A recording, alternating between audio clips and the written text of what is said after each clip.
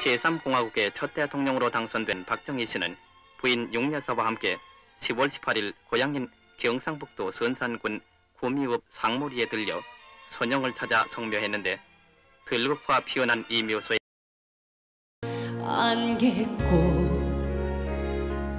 몇 송이 함께 묻고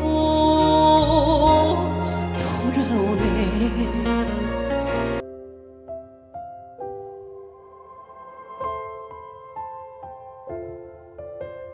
그렇다면 오늘의 금오산 깃을 선산 땅이야말로 명산 명수라고도 하겠습니다.